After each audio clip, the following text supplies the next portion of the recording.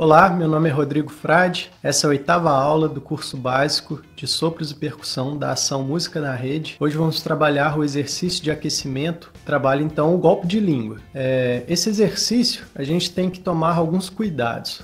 Lembrando que a língua não produz som na flauta. O que produz o som é o ar. A língua vai nos ajudar então a separar as notas. Do mesmo jeito que a gente fala e a nossa língua está aqui articulando as consoantes, do mesmo modo é com a flauta. A gente sopra um ar contínuo e a língua então vai interromper o ar e com isso a gente vai conseguir articular as notas. Então, lembrando que a gente pode usar uma sílaba que é a sílaba do ou da, né? Do mesmo jeito que a gente fala dado. E então a gente articula dessa maneira, da, da, da, da, no mesmo, no mesmo lugar onde a língua esbarra para a gente falar dar, a gente vai então articular com a flauta.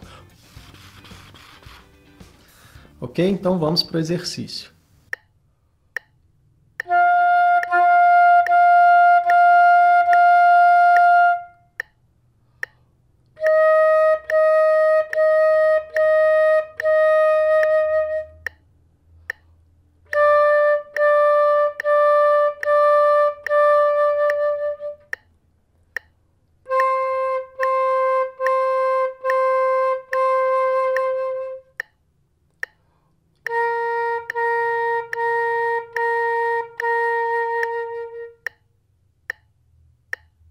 Então, obrigado por assistirem esse vídeo. Eu aguardo vocês na próxima aula.